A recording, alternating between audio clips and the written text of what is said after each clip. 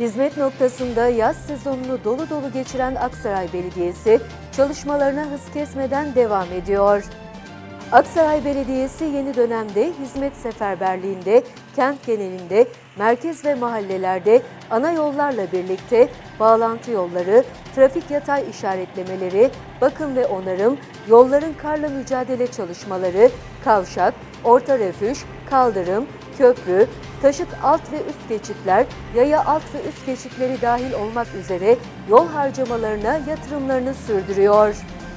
Her alanda vatandaşlara hizmet götüren Aksaray Belediyesi çalışmalarını Yeni Sanayi Mahallesi'nde sürdürüyor.